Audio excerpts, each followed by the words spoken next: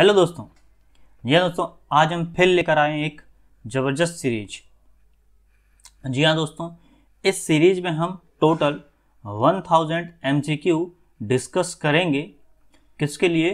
UP triple S C लेखपाल परीक्षा के लिए। और किसके क्वेश्चन हम एमसीक्यू डिस्कस करेंगे यहाँ पे? ग्राम समाज एवं विकास के। जी हाँ दोस्तों 100 परसेंट जो मैं क्वेश्चन डिस्कस कर रहा हूँ, ऐसे ही क्वेश्चन आपको पेपर में देखने को मिलेंगे। आज हम इस सीरीज़ का पहला पार्ट डिस्कस करेंगे और इसमें अप्रॉक्स 25 क्वेश्चन हम आज डिस्कस करने वाले हैं।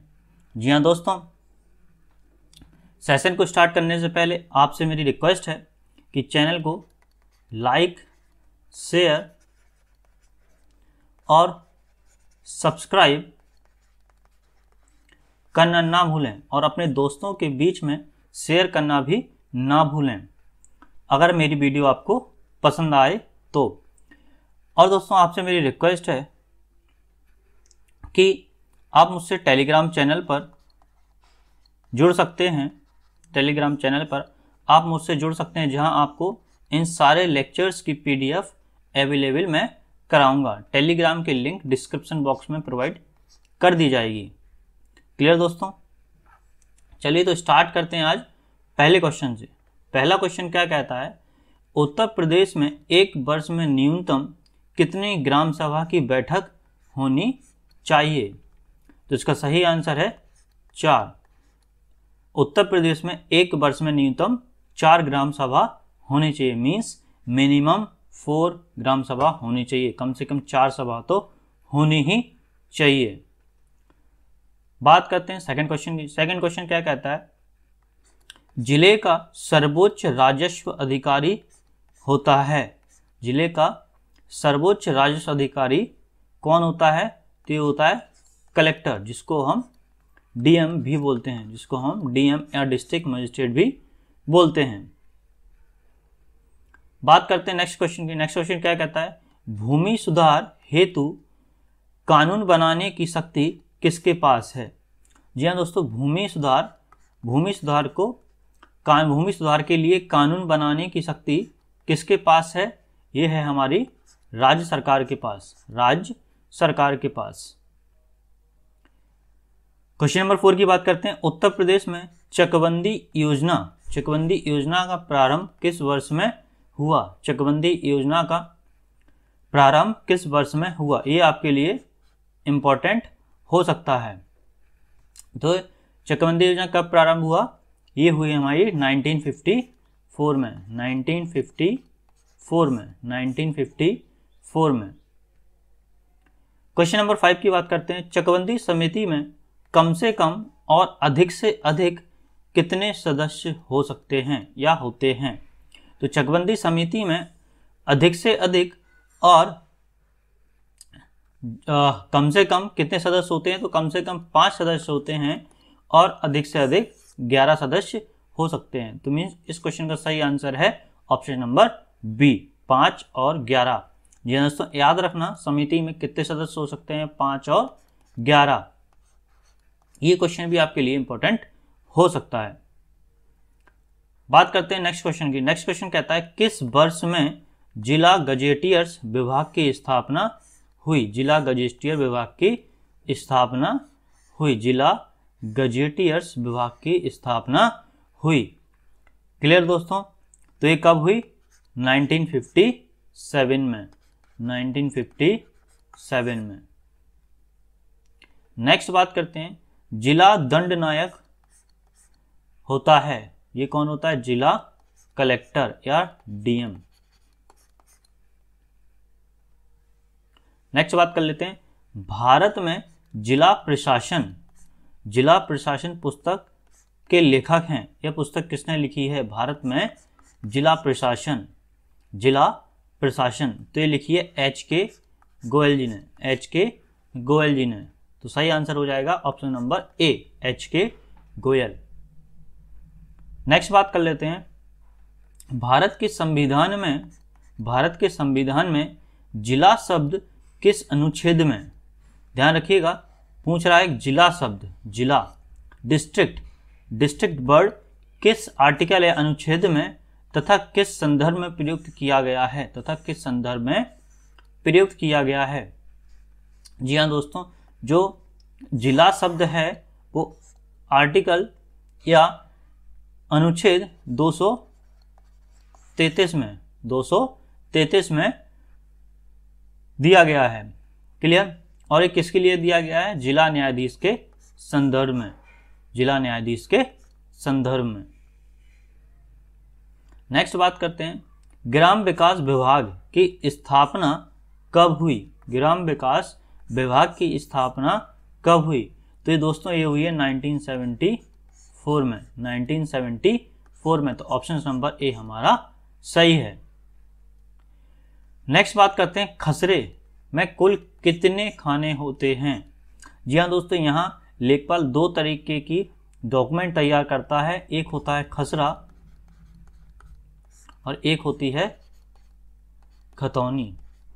एक होती है खतौनी, जिसकी हम आगे बात अभी करेंगे, खसरा और खतौनी। तो ये पूछ रहा है, खसरे में कुल कितने खाने होते हैं? तो ये खसरे में होते हैं टोटल ट्वेंटी टू कॉलम या खाने।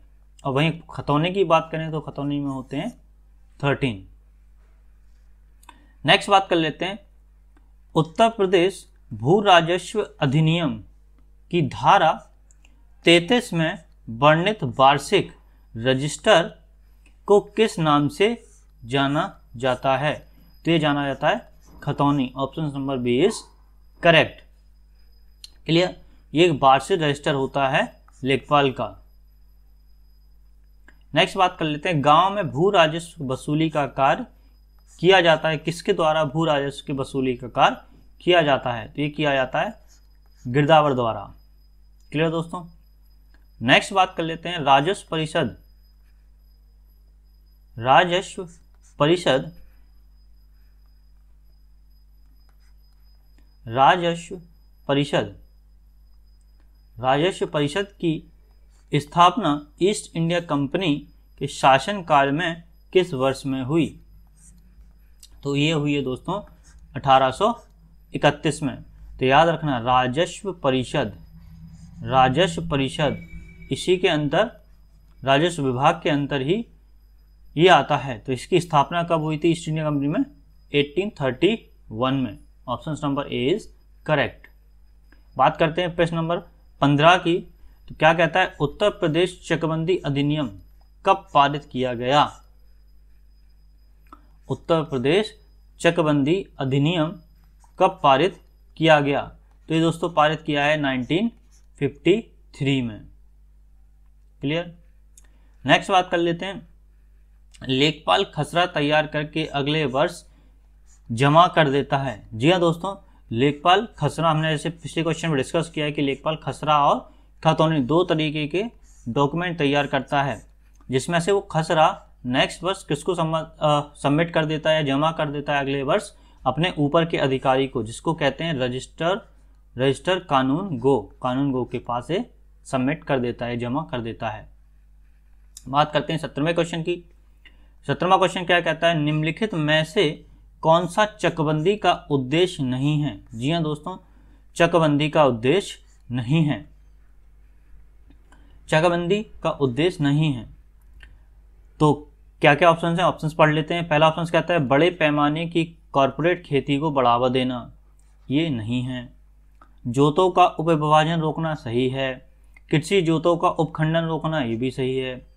कृषकों के अलग अलग खेतों को एक स्थान पर एकत्रित करना, ये तो बिल्कुल ही सही है।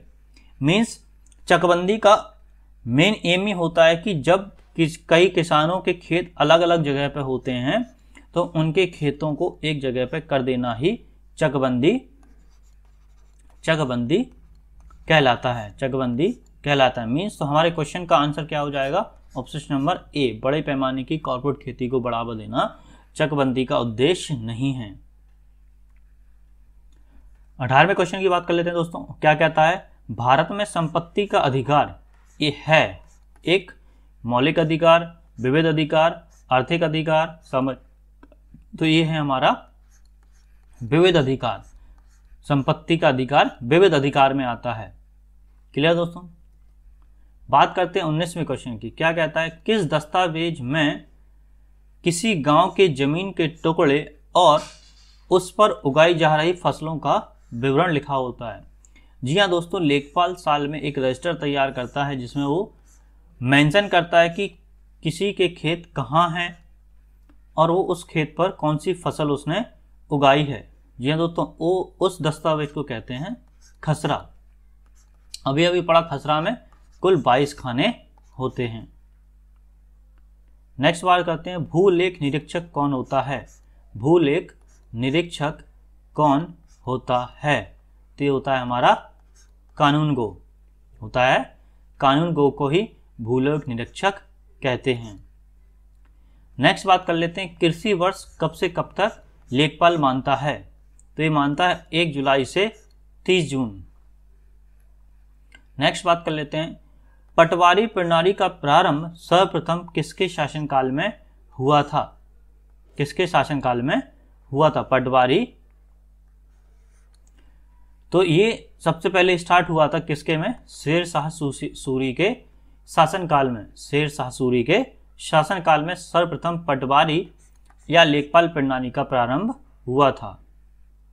नेक्स्ट बात कर लेते हैं, उत्तर प्रदेश लेखपाल सेवा नियमावली कब बनी? जी हाँ दोस्तों, उत्तर प्रदेश में लेखपाल के लिए नियमावली किस ईयर बनी? तो ये बनी 2006 में 2006 में। आइए बात कर लेते हैं क्वेश्चन नंबर 24 की। क्वेश्चन नंबर 24 क्या कहता है? प्रदेश में इस समय कुल कितने राजस्व न्यायालय हैं? कुल कितने राजस्व न्यायालय हैं? ये इंपॉर्टेंट हो सकता है, कुल कितने राजस्व न्यायालय उत्तर प्रदेश में हैं। तो इस समय करंटली उत्तर प्रदेश में 2333 राजस्व न्यायालय हैं। Means option number B is correct बात कर लेते हैं आज के आखिरी क्वेश्चन की 25वें क्वेश्चन की। तो 25वां क्वेश्चन क्या कहता है? संविधान के किस अनुच्छेद के अंतर्गत जिला कलेक्टर जिला कलेक्टर या डीएम को अपने कार्यकाल की सुरक्षा प्रदान की गई है। सुरक्षा प्रदान की गई है। क्लियर दोस्तों, किस अनुच्छेद के द्वारा? ये 311 अनुच्छेद में डीएम अपने कार्यकाल की सुरक्षा प्रदान करना या आर्टिकल उसमें मेंशन किया गया है। जी हाँ दोस्तों, थैंक यू। आज की आज की वीडियो में इतने ही क्वेश्चन। नेक्स्ट क्वेश्चन में, अगले 25 क्वेश्चन में डिस्कस करूँगा। और इस सीरीज़ में टोटल में 1000 एमसीक्यूज एमसीक्यूज डिस्कस करूँगा, जो लेखपाल के लिए इंपॉर्टेंट होंगे मोस्ट इंपॉर्टेंट क्वेश्चंस होंगे। क्लियर दोस्तों? और बात करें, और बात करें, अगर हमारी वीडियो आपको पसंद आई हो तो प्लीज़ लाइक शेयर सब्सक्राइब ज़रूर करें। और आज की वीडियो अच्छी आई तो प्लीज़ अपने फ्रेंड को बीच में शेयर भी ज़रूर करें। आज के लिए थैंक यू